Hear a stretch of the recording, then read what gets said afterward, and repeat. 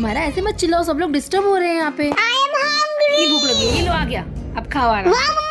Pastry और भी मंगाया मैंने आपके लिए। मम्मा जल्दी से खा जाऊँगी मैं दोनों। है ना? ठंडी ठंडी पेस्ट्री